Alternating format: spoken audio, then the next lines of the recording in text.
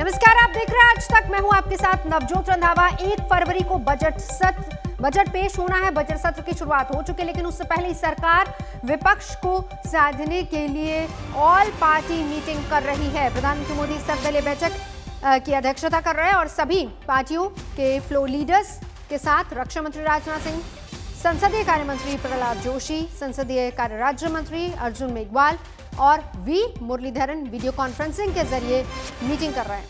सरकार की तरफ़ से भी सभी विपक्षी दलों को आश्वस्त किया गया है कि सरकार कृषि संबंधी कानूनों समेत सभी मुद्दों पर चर्चा के लिए तैयार है। चलेंगे सीधा हिमाचल मिश्रा से इस वक्त जुड़ चुके हैं हिमांशु। तमाम ऐसे मुद्दे हैं जिनको विपक्ष उठाएगा ज़रूर। और कल राष्ट्रपति के अभिभाषण के दौरान हमने देख लिया था कि विपक्ष के तेवर क्या है। लेकिन आज सर्वदलीय बैठक में इसी को लेकर चर्चा हो रही है। किस तरीके से सुचारू रूप से सेशन को आगे चलाया जाएगा। हिमांशु।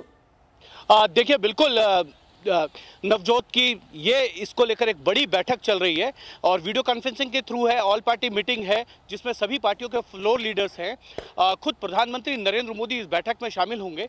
और सबसे बड़ी बात यह है कि संसद के सत्र को सुचारू रूप से चलाया जाए, किसी भी तरीके का जो है व्यवधान ना हो और सभी विपक्षी पार्टियों से अपील की गई है सरकार के द्वारा कि वो जिस मुद्दे पर चर्चा चाहते हैं, सरकार सभी मुद्दों पर चर्चा के लिए तैयार है कृषि संबंधित तीनों कानूनों पर एक बार फिर से सरकार चर्चा कर सकती है। अगर विपक्षी चाहें उसके लिए किसी भी तरीके की सरकार जो है अपने कदम पीछे नहीं हटाएगी।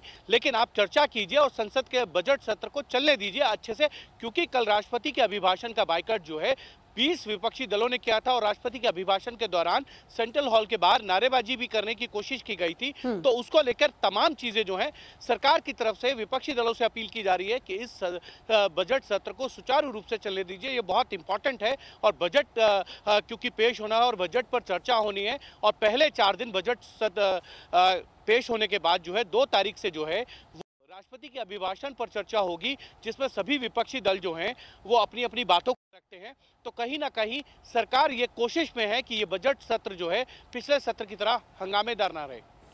हंगामेदार ना रहे, लेकिन ऐसे में बहुत अहम और बड़ी बात होगी, क्योंकि आज की ये जो बैठक हो रही है, इसमें इस पर भी चर्चा होगी कि कैसे विपक्ष को भी कॉन्फिडेंस में लिया जाए। खास तौर पर अगर कृषि कानूनों की बात करें तो। हिमांशु। देखिए, बिल्कुल, इसीलिए सरकार चाहती है कि अगर आपको कृषि कानूनों को लेकर चर्चा करनी है तो सरकार उसके लिए तैयार है। बीएससी यानी कि जो बिज़नेस एडवाइजरी कमेटी होती है दोनों सदनों की वो तय कर ले हम्म। किस दिन कितने समय के लिए चर्चा की जाएगी उसके लिए तय किया जाए लेकिन उसको लेकर व्यवधान ना किया जाए। बिल्कुल। जब विपक्ष की मांग होगी सरकार इन मुद्दों पर चर्चा करने के लिए तैयार है। लेकिन किसी भी तरीके का हंगामा ना किया जाए क्योंकि बजट सत्र बहुत ही महत्वपूर्ण होता है।